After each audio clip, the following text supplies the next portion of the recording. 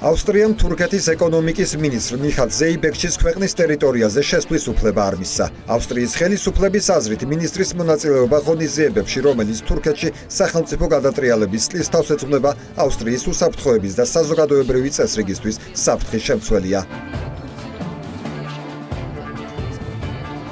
წინა კვირაში ანალოგიური განცხადება ნიდერლანდების მთავრობამაც გააკეთა. ჰოლანდიელებმა ქვეყანაში თურქეთის ვიცე-პრემიერ თურგულ თურქაში შესვლა სასურველად არ მიიჩნიეს.